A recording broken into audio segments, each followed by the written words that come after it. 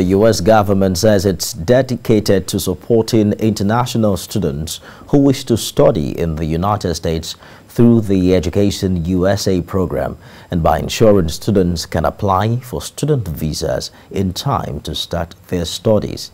U.S. Mission Country Consulate Coordinator Susan Tula made this note while celebrating successful applicants who are ready to leave for the U.S.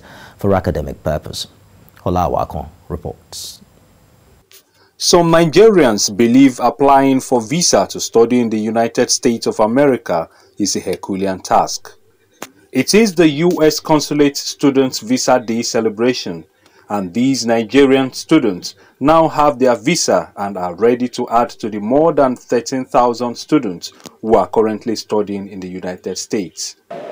We continue to support students through our Education USA advising program and through making appointments available to students who've been accepted by U.S. universities and colleges so that they can apply for their student visa and get to their studies on time.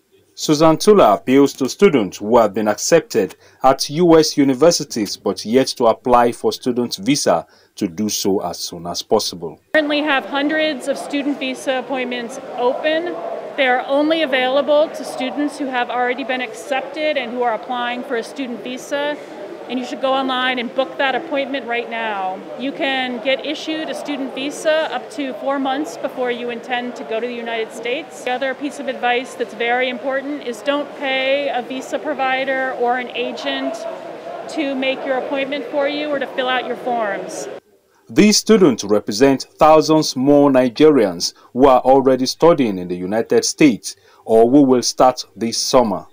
For them, studying in the United States will help them come out best in their chosen careers. The US is ahead in terms of quality of education and if Nigeria is to get up to pace, we'll need our best to bring down this knowledge down, um, back to us and help upskill and upgrade our level to the extent that we can compete favorably with them.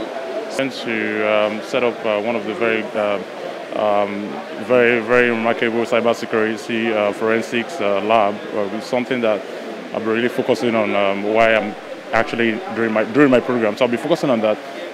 Students planning to apply are expected to demonstrate to the consular officer that they are entering the United States solely for the purpose of pursuing a full course of study, that they have a credible plan to pay for their education, and that they intend to depart the United States after the completion of their program.